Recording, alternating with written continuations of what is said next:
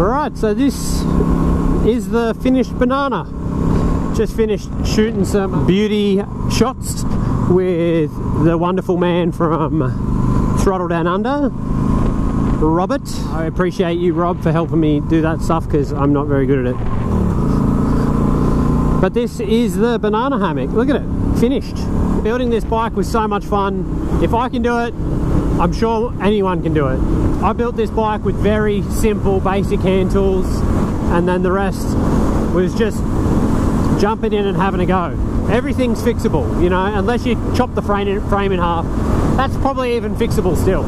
There's a way to fix everything, so don't stress out like I'm gonna ruin it, I'm gonna do this, I'm gonna do that. Like, no, you're not. You might make mistakes, but hey, I made plenty of mistakes on this, but look at it, here it is. I'm riding it down the highway building a motorcycle doesn't have to be a daunting, scary task.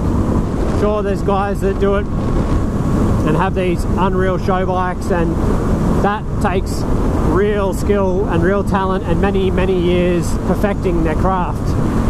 But, you know, they all had to start somewhere and this is me starting out. Can't wait to build another bike.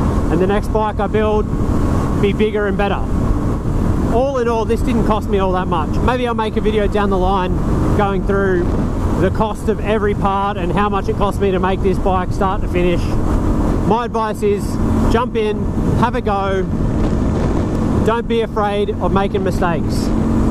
But anyway, this is the banana hammock. It needs a new name now considering a lot of the yellow is gone. We've kept some of the yellow as you can see in the flames, but a lot of the yellow is gone, so it needs a new name now.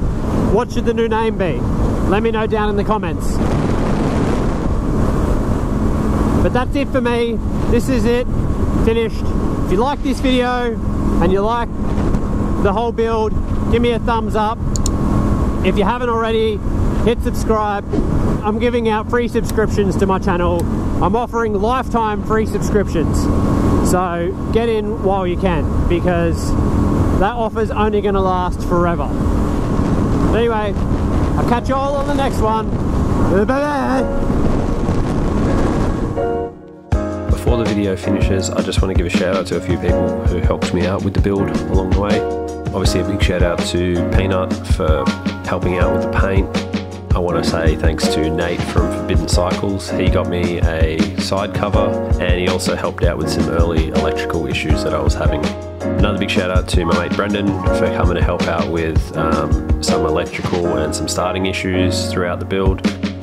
Rob from Throttle Down Under again for taking those fancy bit of footage and some really nice photos of the bike, um, help, really helping out with this video. And lastly, and definitely not least, uh, thanks to my brother for being there for the build and, and really helping me get it across the line. I think um, his help and his motivation really, really helped.